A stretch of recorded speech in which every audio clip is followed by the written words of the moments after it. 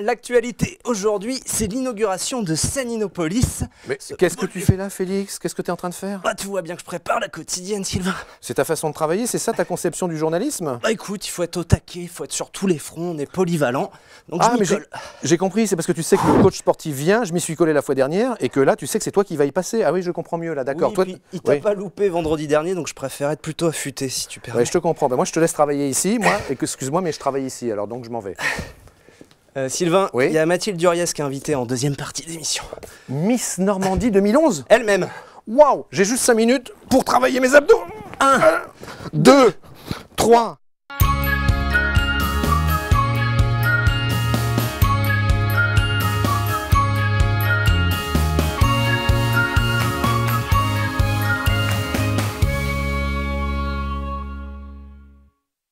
Bonsoir à toutes et à tous. euh, C'est ah oui, je sors du cadre, évidemment. Bonsoir à toutes et à tous. C'est avec des abdos, je pense, euh, retravaillés pendant 5 minutes euh, grâce à l'incitation de Félix Bolès. Bonsoir Félix. Bonsoir Sylvain. Voilà, Félix, vous n'êtes pas finalement que rédacteur en chef de LCN, vous êtes aussi mon coach perso en fait.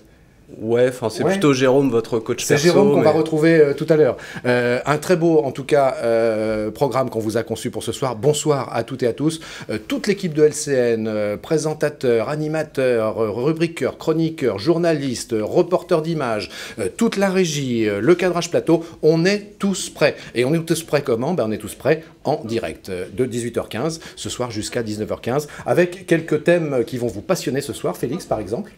Une championne du monde de tir à l'arc, tout simplement. Est-ce que ça vous satisfait, euh, Sylvain? En toute simplicité, mesdames et messieurs, on vous présente ce soir, et oui, une championne du monde de tir à l'arc, et puis quelques autres sujets, Félix? Mais on parlera notamment du Festival des Arts Solidaires avec Ouais. une bénévole euh, du Secours Populaire 76. On recevra une Miss, je sais que vous aimez bien ça. Ça sera le rendez-vous du vendredi. On parlera du SAMU et puis évidemment la petite chronique sportive. Eh bien, extraordinaire, beaucoup, beaucoup de choses, les sujets vont s'enchaîner, j'espère qu'ils vont vous passionner. On va euh, entamer tout de suite la quotidienne sur LCN avec le premier sujet.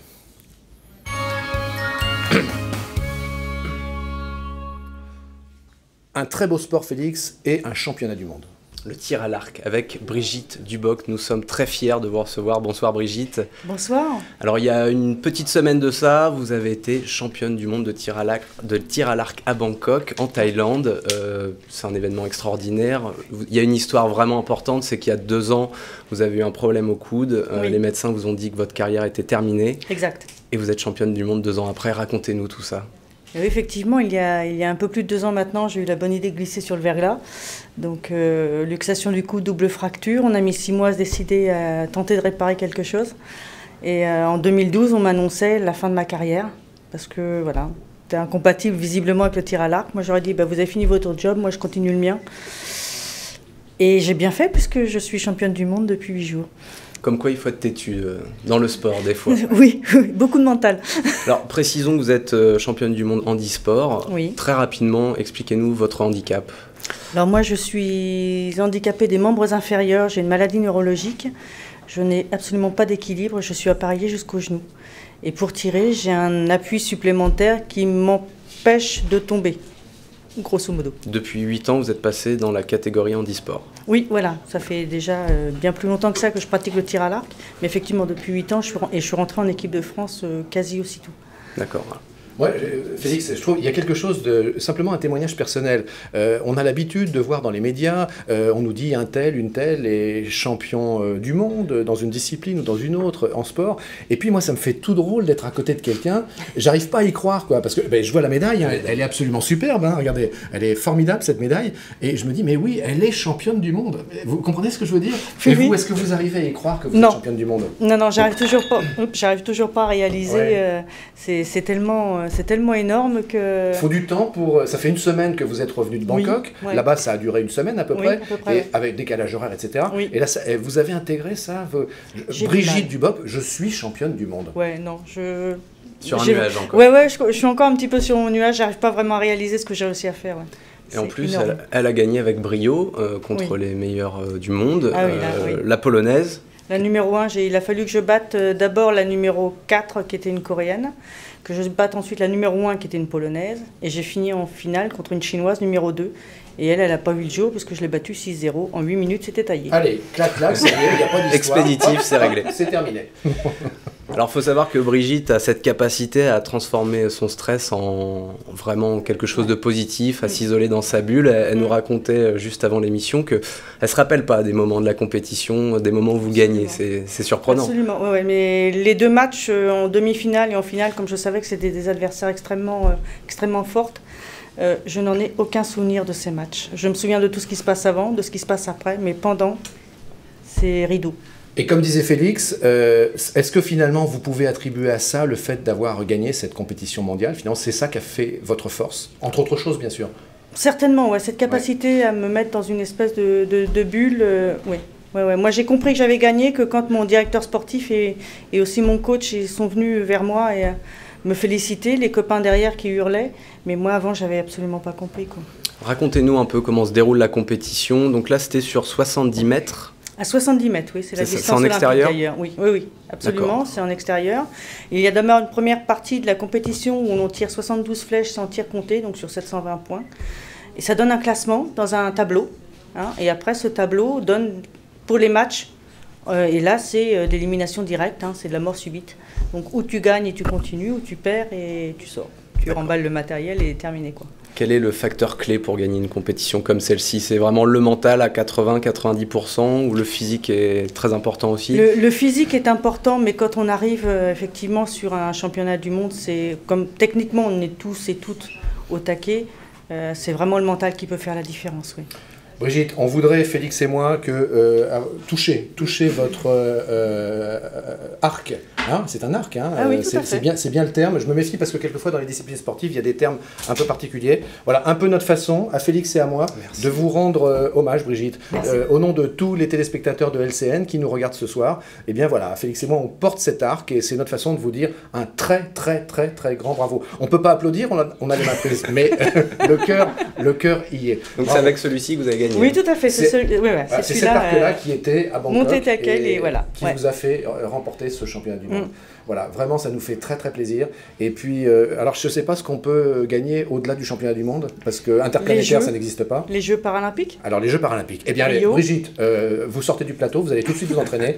et puis pendant que vous commencez à vous entraîner, parce qu'il ne faut pas rigoler, elle a un mental d'acier, bah, il faut qu'elle continue à le prouver. Eh bien, on lance la rubrique Un jour en Seine-Maritime. Et alors, on aurait pu jouer un truc finalement, vous savez, Guillaume Tell avec l'arc, c'était une pomme sur la tête. Une pomme. Et bien là, on aurait pu aller vous chercher un Neuchâtel, le mettre sur la tête de Félix. Et, mais bon, ça sera pour une autre fois. Un jour en Seine-Maritime, au cœur du Neuchâtel.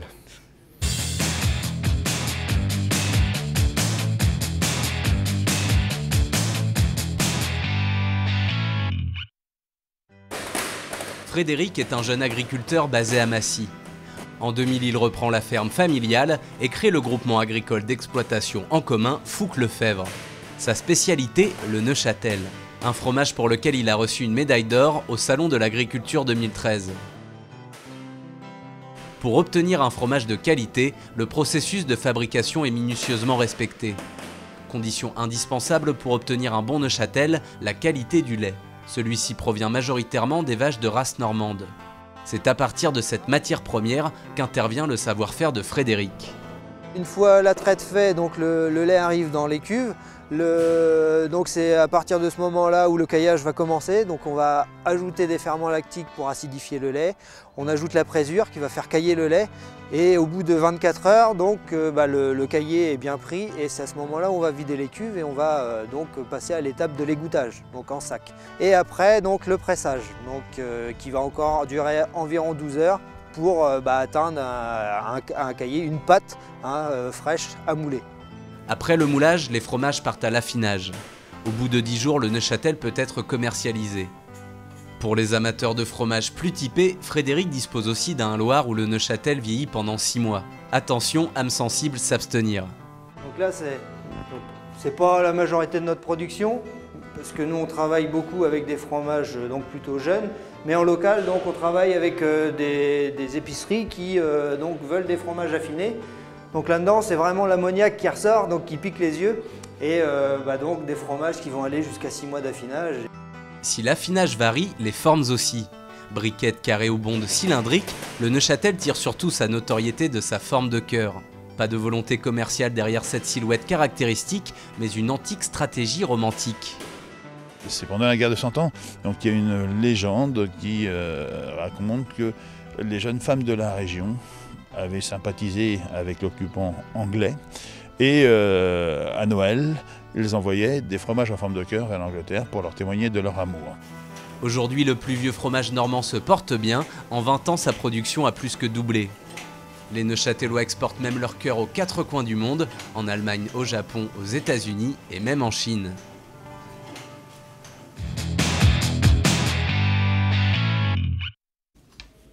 Brigitte Duboc, je vous le répète, je refuse que vous me mettiez un Neuchâtel sur la tête pour me tirer avec une flèche avec votre arc. Je n'accepterai pas, c'est clair. Promis, je Eh ben, ok. ouais. Je veux bien avec une pomme, finalement. Parce que, euh, allez, je transige avec un produit normand. Euh, Félix, euh, écoutez, on va essayer de la divertir. On la garde. hein, On la garde, Voilà. Brigitte. Mais on la garde en plateau, oui, oui. Mais on va lui changer les idées avec le secours populaire. Oui, on a le plaisir de recevoir euh, Nelly Bouteiller. Vous êtes bénévole euh, au sein du Secours Populaire 76. Donc, on peut le rappeler, c'est une association qui est déclarée grande cause nationale et qui a pour mission d'agir contre la pauvreté et l'exclusion en France et dans le monde. Et vous organisez à partir de ce midi, enfin depuis ce midi jusqu'à dimanche soir, je crois, le Festival des Arts Solidaires à la Halle aux Toiles de Rouen. En deux mots, quel est le concept de ce festival? Euh, donc, euh, le Festival des Arts Solidaires est donc organisé par le Secours Populaire de Rouen. Euh, les objectifs de ce festival sont de faire connaître déjà dans un premier temps les artistes et les créateurs de la Normandie. Ensuite, de collecter des fonds pour le Secours Populaire. Et aussi, c'est dans une démarche solidaire, puisque l'art appartient à tout le monde. Donc, ce sont les trois objectifs principaux de la démarche du festival. Donc, comme vous le disiez, le festival a démarré ce midi à 14h, ouvert au public depuis ce midi. Il aura lieu également demain, samedi 16 novembre, de 10h à 21h, puisqu'il y a une nocturne de prévue. Euh, Dimanche également, de 10h à 18h, sans interruption. Et donc, c'est libre et ouvert à tous gratuitement. D'accord, il y a plein d'ateliers sympas, insolites, euh, Alors, ludiques à découvrir. Tout à fait. notamment Alors justement, à ce propos, la spécificité, je dirais un petit peu, le, le Festival des Arts Solidaires se démarque dans une démarche de création euh, à base de récupération pour la plupart des créateurs et des artistes qui sont présents. Donc les personnes qui vont euh, venir nous rejoindre pourront, par exemple, trouver des lithographies de Gérard Garouste, qui est donc très connu. Il y aura également euh, un sculpteur euh, à la tronçonneuse sur bois, donc à base de mat- matériaux naturels. Il y aura également des chapeaux, une brocante, des bijoux, des meubles, des ventes de vêtements également. Mais c'est c'est bien l'esprit récupération hein, dont il s'agit. D'accord, toujours dans cet esprit. euh, et on peut sculpter le chocolat aussi? Alors le chocolat, euh, il y a euh, donc Daniel Maillard qui est ici avec Amanda da Silva qui font des, des œuvres à base de chocolat. D'accord. Sylvain, ça vous dit d'aller faire un tour à la Hall Félix. Oui, oui, oui, avec grand plaisir. Mais vous savez, on essaie dans la majeure partie des cas euh, bah, d'aller rendre visite à nos invités parce qu'ils viennent en plateau, ils nous donnent envie. Et donc, euh, bah, on, on est souvent euh, vos premiers visiteurs. Et C'est l'occasion de faire, euh, d'anticiper les cadeaux de Noël à petit prix. Bah alors justement, nous, nous accueillons avec plaisir toutes les personnes euh, durant tout le week-end bah, pour leur permettre de chiner et de justement dénicher aussi des cadeaux à mettre au pied du sapin puisque la période euh, est adéquate. Alors je précise également euh, que c'est accessible à tous les budgets. Donc ça, il faut aussi faire passer le message. C'est important que tout le monde puisse euh, savoir qu'il y aura des petits cadeaux à, à trouver. Très bien, merci beaucoup euh, Nelly Bouteiller. Juste pour terminer, je voudrais savoir ce que vous pensez, comment vous ressentez, vous, la performance de, de Brigitte. Euh, Ah, mais je suis admirative devant euh, cette persévérance et ce, Merci. Ce talent. cette- ce, ce talent, enfin Ce ce, talent, ce je sais mental d'acier, je dirais. et Je vous ai vraiment, répé- euh, Brigitte, on va lancer les infos là, mais je vous l'ai dit, il est interdit de tirer dans les studios, et y compris la salle de rédaction. Donc on ne pas, fait Je pas de tir à l'arc. Hein. Je peux pas. Et on peut préciser que l'équipe masculine est vice-championne euh, du monde Vice-championne aussi. du donc monde vous avez fait carton plein. hein. Euh, on a fait carton plein, ouais. ouais, ouais. Bravo à vous tous. On est très très fiers, je le répète, de vous avoir euh, accueilli championne du monde euh, tir à l'arc euh, handisport. Euh, à peine finalement descendu de l'avion que vous êtes déjà sur le plateau de LCN dans la quotidienne. Euh, il est temps maintenant, puisque l'horaire euh, nous guide, euh, de retrouver l'actu du jour, les infos du jour. Il y a juste un petit peu de pub. Vous restez avec nous. On va bien sûr retrouver Félix Bollès pour cela. Et puis après, le programme avec plein plein de surprises, vous verrez.